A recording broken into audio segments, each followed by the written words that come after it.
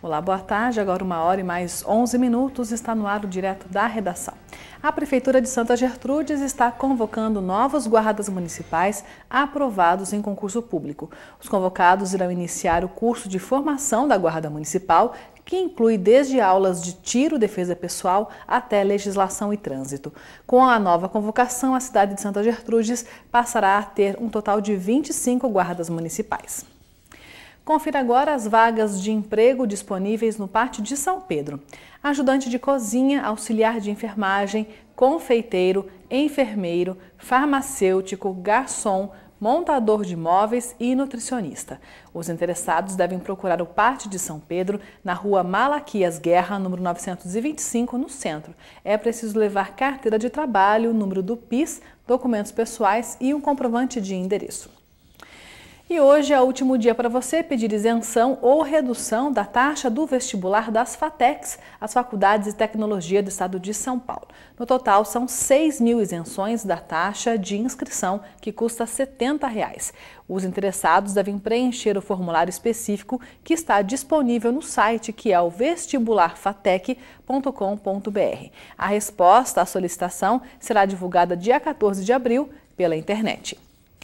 E já estão abertas as inscrições para a quinta motociata das mulheres. O evento é um encontro de mulheres que são fãs das duas rodas e será realizado no sábado aqui em Rio Claro.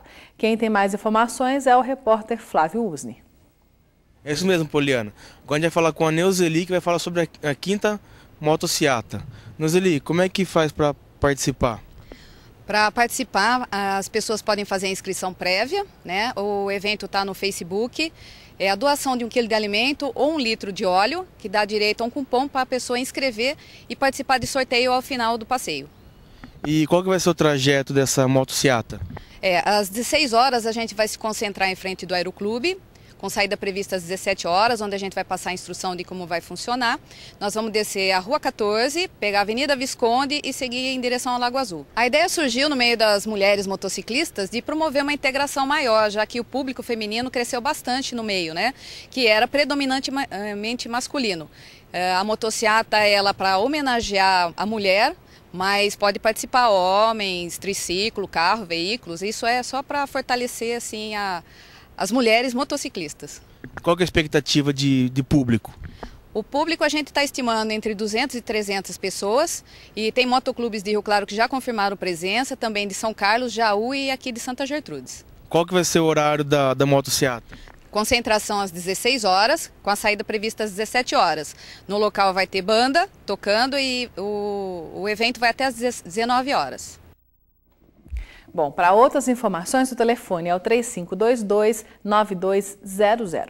Todo o alimento arrecadado será doado para o Fundo Social de Solidariedade aqui de Rio Claro.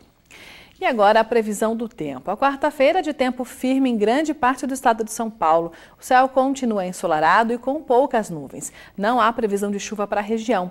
Amanhã, o vento que sopra do mar traz muitas nuvens para a região sudeste. Pode chover durante a tarde. A temperatura hoje em Rio Claro varia entre 18 e 30 graus. Em Santa Gertrudes, a mínima hoje foi de 20 e a máxima atinge os 30. Em Leme, mínima de 18 graus e a máxima não ultrapassa os 30 graus.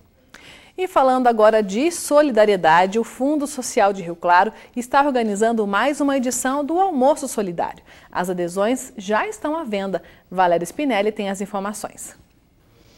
É isso mesmo, essa é a sexta edição do Almoço Solidário aqui em Rio Claro, que é organizado pelo Fundo Social de Solidariedade. A assessora Creuza está aqui ao meu lado. Creuza, o que acontece nesse Almoço Solidário? Olha, esse almoço vai ser no dia 6, né? No Clube Floridiana, e às 12 horas. Esses, uh, esse almoço, os convites estão sendo vendidos na, aqui no Fundo Social de Solidariedade, 35267173, e também no Lions, em com o senhor Djalma. E também com a Eliana, lá no abrigo São Vicente de